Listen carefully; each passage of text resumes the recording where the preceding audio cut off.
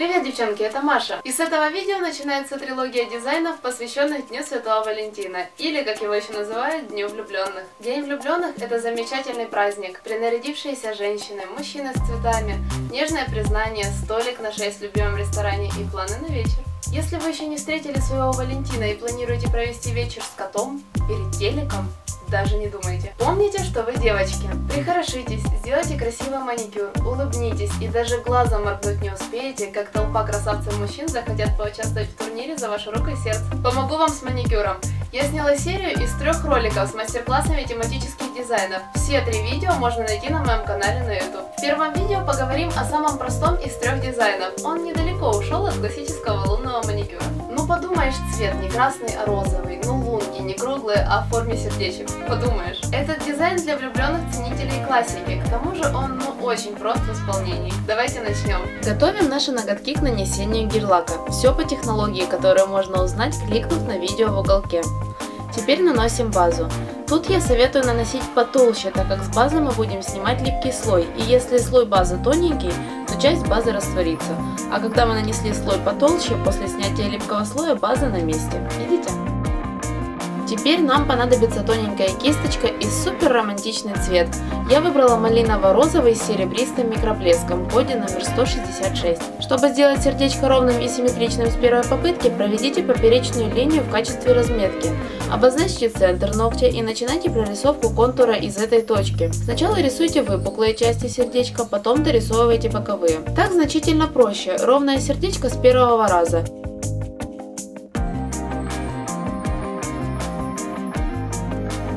Труднодоступные места легче закрасить тонкой кисточкой, остальную часть ногтя прокрашиваем кисточкой с флаконом. Само сердечко я решила оставить не закрашенным, но при желании можно нанести один или несколько слоев камуфляжа или вовсе сделать сердечко цветным, использовав любой цвет на ваше усмотрение. Таким же способом рисуем остальные ноготки. Когда мы делаем подобные дизайны, не торопитесь и наносите тоненькие слои, тогда дизайн будет равномернее и аккуратнее в конечном виде. Также выбирая цвет для такого дизайна, отдайте предпочтение плотным, укрывистым цветам, желательно не жидкой консистенции. Во-первых, вам понадобится меньше слоев, а во-вторых, густой гель-лак меньше растекается и контур сердечка будет четче.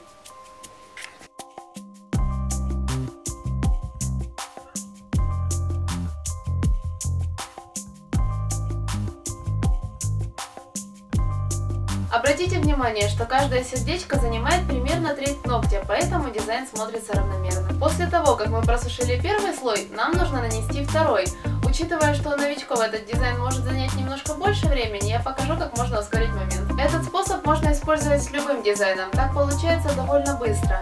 А для тех, кто пользуется жидкими лаками, которые нужно сушить по одному ногтику, этот способ настоящее спасение. Пока наношу второй слой гель-лака, расскажу, в чем суть быстрого способа.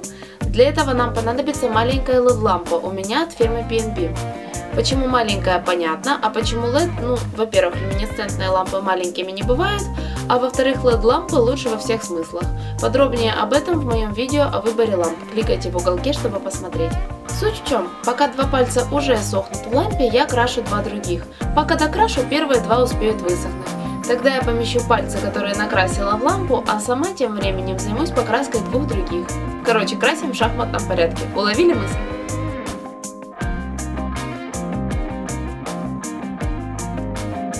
Вот, так выглядят два слоя цвета.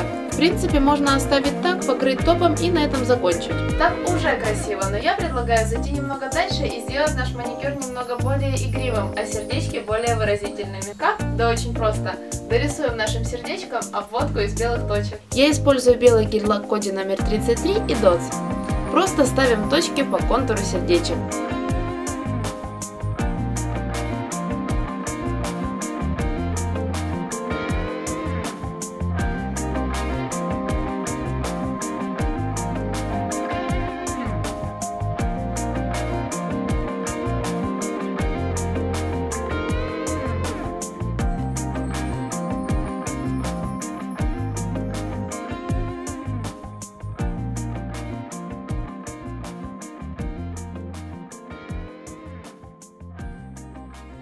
Когда закончили, сушим. и покрываем топом. После того, как просушили топ и сняли липкий слой, можете любоваться своим маникюром и настраиваться на романтический лад. Вот и все. Сами видите, что дизайн проще простого, но как интересно выглядит. Смотрите два других видео, кликнув на изображение понравившегося дизайна. Ставьте лайки и подписывайтесь на канал. А, и еще напишите мне в комментарии свой любимый розовый цвет. А с вами была я, Маша. До скорого!